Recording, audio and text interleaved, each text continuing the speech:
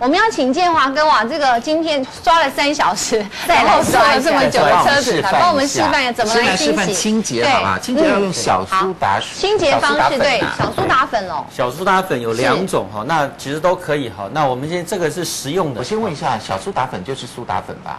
是不是？一样啊，一样。讲两种是，一种是我们烘焙用啊，一种是工业用哈。然后呢，用呃这个菜瓜布沾一点水，不要太多。要用哪一面呐？菜瓜布的哪一面？对，哪一面呐？我是用这一面，哦，比较细耶，比较细的这一面哈。可是不是有，难怪要弄三小时哎。可是有刮痕，不是用那个粗的会比较好。也是可以，也是可以，没有问题哈，可以的。然后呢，你顺着这个 啊。顺着这个这会有刮痕，因为我我们家在做菜的时候喜欢做这个南瓜汤哦，会剁，所以这个我们家会顺着刮痕来清洗，顺着刮痕来清洗，你慢慢把它洗哈，你不用洗三个小时哈。其实你经常做这个动作的时候呢，因为实际上我们家很少切肉了哈，那这种是拿来切面包，肉就比较难弄，对，肉就比较难弄，嗯，沾沾一点，然后呢，慢慢把它这样刷刷刷哦，这个小段非常有用，它不只是可以来刷砧板。几乎任何的玻璃沾了油或者不锈钢上面的东西哈，我们家几乎所有的清洁都是用这样的东西。所以这个重点在这个小苏打粉。我们知道苏打粉有食用的跟工业用的。那问一下那个教授，那食用工业用的，我们这个是要用？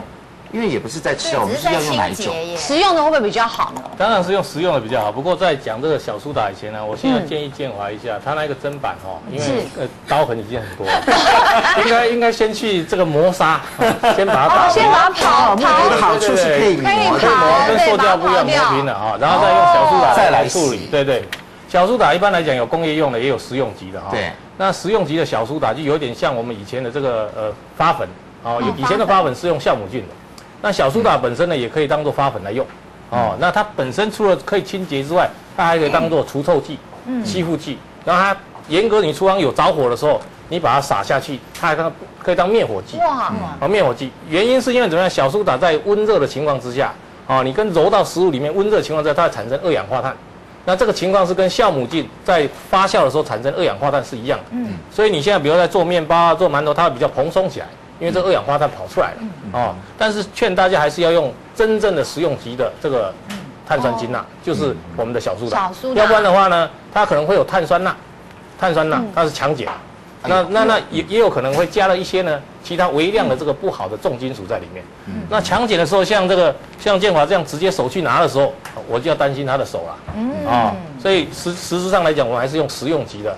这个碳酸氢钠小苏打是比较安全的。是。那像假设我们现在清洁已经呃那个结结束了，就还还在用水冲洗嘛，对不对？对，没有，对，还用水冲。那消毒的消毒呢？消毒的话，我们现在会用这个第一个用这个盐巴，然后用白醋，好，然后清水，大概呢是一比二比六，好，比如说盐巴二六的比例，好，我加加在里面，好，嗯，然后呢加点白醋。这是白醋。对，然后呢，这差不多是我这个水的分量已经抓好了哈，把它搅和搅拌一下，搅拌一下以后呢，也是一样，好，你不管是用菜瓜布或者有时候我们会用布了哈，然后把它轻轻的把它沾湿在上面，好，也是一样，顺着它的这个菜瓜布应该也可以吧？对，对对对，顺着它的这个刮痕也好，现在我们是在消毒了，对，在消毒，在消毒，然后把它的最重要的步骤是不是要呃？涂好了以后要摆在某个地方摆，稍微静置一下嘛，哈，稍微静置一下，然后用白水，也是像刚才老师讲的，把它冲干净，再冲掉，冲干净。那如果说用的更久的时候，或者说如果像偶尔我们还会切肉这类的东西呢，我们就会用漂白水。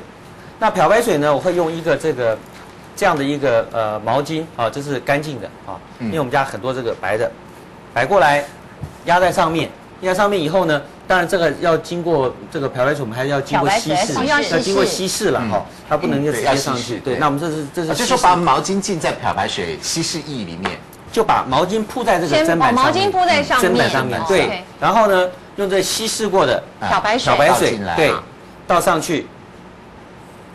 哦，这样子也可以。倒上去之后呢，让它也是一样，充分的沾湿。嗯哦。沾湿以后，一段时间十分钟、十五分钟。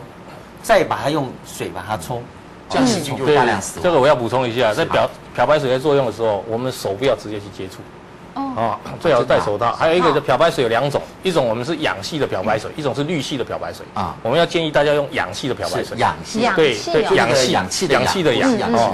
那氯系的这种这种漂白水的时候呢，它在作用的时候容易产生氯气。那利气呢，对对我们身体呢，吸到对我们身体是会有伤害的。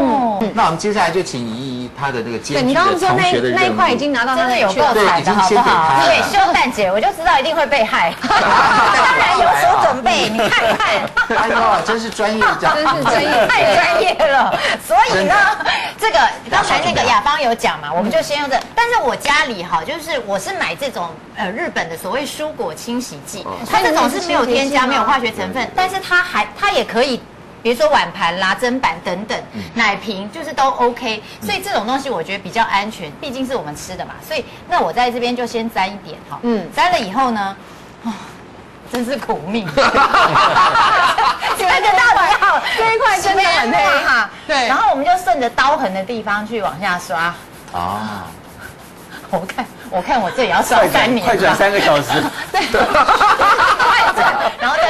那是我们节目时间很不是不是不会杀太不是，但是我这边我这边插一句话哈，我们这个东西其实是一个消耗品，大家要脑袋要记得，就是我们有时候其实在很多地方的时候的节省呢，是其实呢比起在这个地方来讲，其实是微不足道的。所以像这种东西，如果说是已经到这种程度的话呢，我建议就更换一个新的塑胶砧板，就不用不用再刷了，直接买一块新的来，那没有多少钱。哦，哎。你在一直努力刷，对对对对对对，不需要刷白了，刷白了，刷白了。你看，好，哎，真的假的？真的啊，那个清洁前、清洁后，你看多神奇的效果。但是要补充一下，其实很好玩。我到香港上环的时候，我去采访一个砧板达人，他们就是香港人，他们做了几十年的砧板，就有讲到，其实木质的东西它是会痒的。